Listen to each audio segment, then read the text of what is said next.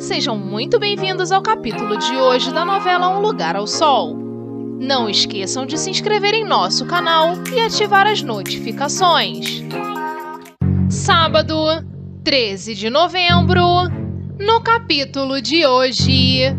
Depois de assumir a vida de seu irmão Renato, se aproximar de Bárbara e resolver pedir a moça em casamento para dar continuidade à sua farsa, Christian desabafa com Ravi a caminho do casório e mostra que ainda está totalmente confuso com as decisões que vem tomando. Aproveitando que o amigo demonstra um momento de fraqueza em suas decisões, Ravi tenta fazer com que Christian desista de se casar com a filha de Santiago muito ambicioso e pensando em todos os benefícios financeiros que pode ter ao se unir à família do empresário do ramo de supermercados, o rapaz afirma para Ravi que já tomou sua decisão e que irá até o fim. Convencido de que está fazendo certo, Christian vai dizer para seu melhor amigo: Eu não fui atrás disso. A vida colocou essa situação no meu colo e eu não tenho nada a perder. Vencido esse pequeno questionamento, Christian toma sua decisão e resolve seguir para a cerimônia de casamento com Bárbara.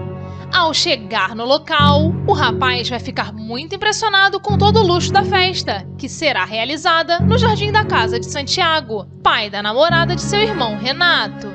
Quem vai estar toda feliz ao ver o filho tomar um rumo em sua vida e principalmente pensando nos benefícios financeiros que ele poderá ter, será Helenice. Sem saber que é Christian que está se casando com a moça, a mãe de Renato vai curtir bastante a festa, tirar fotos ao lado dos noivos e parabenizar o filho por estar dando um jeito em sua vida. Muito empolgada, ela se emociona ao ver na festa algumas fotos do rapaz quando ele ainda era garoto e aproveita para dizer: Saudades de você, criança, meu filho. Apesar disso, ciente de que seu irmão gêmeo odiava a mãe adotiva, Christian vai se manter no personagem e fará questão de deixar claro para Helenice que não dará nenhuma ajuda financeira a ela, mesmo sabendo que a madame está em maus lençóis. Enquanto o casamento acontece, bem longe dali, Noca vai jogar o tarô para analisar o que é o melhor para o futuro de sua neta. Botando as cartas na mesa, a avó terá uma visão e dará um conselho para Lara dar um fim no amor que ela sente pelo suposto namorado falecido.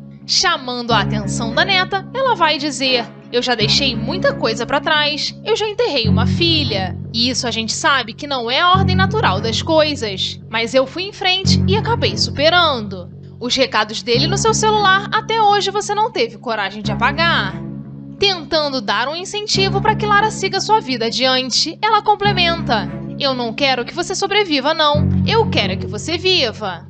Apesar de ter dado tantos conselhos para neta, Noca vai ficar muito assustada com o resultado que viu nas cartas de tarô e vai desabafar com sua amiga. Sem entender o que está acontecendo, ela vai dizer: Pela primeira vez na vida, eu estou duvidando do meu dom.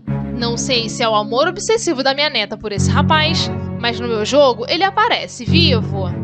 O que ela nem imagina, no entanto, é que suas previsões continuam certeiras e que Christian continua bem vivo e vivendo uma vida cheia de mentiras.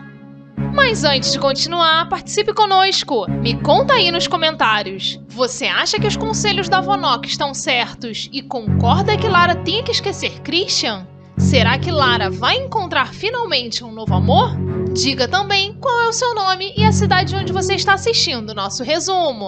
Ah, e não esqueça de deixar o seu like no vídeo e se inscrever em nosso canal.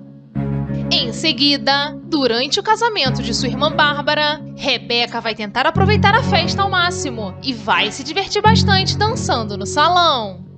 Acontece que o momento de lazer da mulher vai ser interrompido quando ela percebe que seu marido Túlio está conversando sozinho com outra mulher.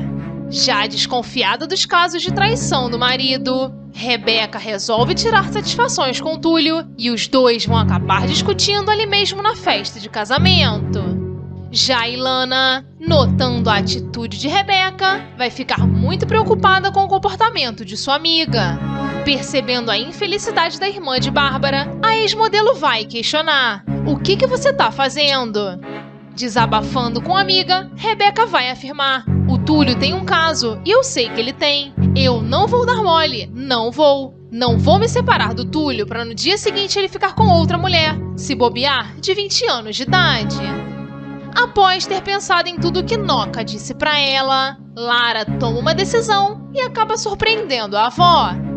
Percebendo que precisa de uma mudança de ares para assim conseguir esquecer a morte de Christian, a cozinheira vai afirmar para a avó que pretende deixar de vez o Rio de Janeiro. Disposta a iniciar uma nova vida, Lara afirma que permanecer na cidade não vai fazer tão bem a ela. Com isso, as duas vão se mudar de vez para Minas Gerais e continuar a vida juntas.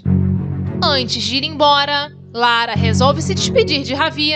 Ao saber da notícia, o amigo de Christian vai ficar chocado, mas mesmo assim não vai fazer nada para tentar impedir que a neta de Noca mude de ideia.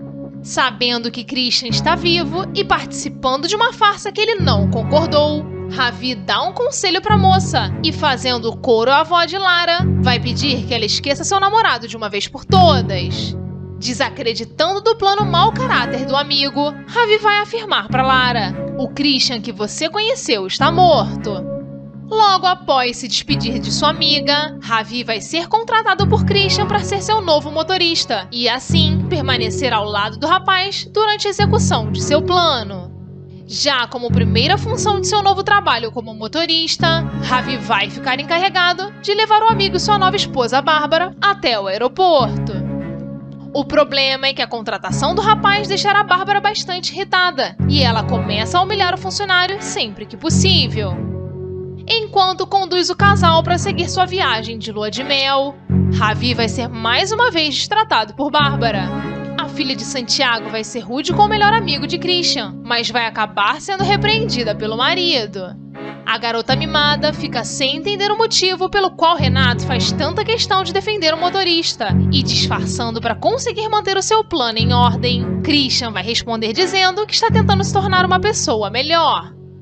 Surpresa com a atitude do marido, Bárbara vai se dar por convencida e fica feliz com uma possível mudança de comportamento do rapaz. Ao final do capítulo, incomodado com a forma como seu amigo foi tratado pela esposa, Christian resolve ligar para o celular de Ravi para pedir desculpas pelo acontecido. Ao completar a ligação, o irmão de Renato vai ficar surpreso quando Santiago, o pai de Bárbara, atender do outro lado da linha.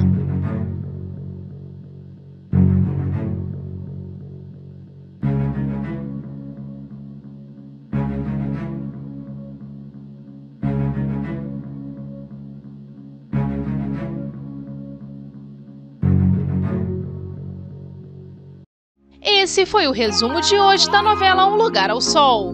Se você gostou, não esqueça de deixar o seu like no vídeo, se inscrever em nosso canal e ativar as notificações. Obrigada por assistir o vídeo e até o resumo do próximo capítulo.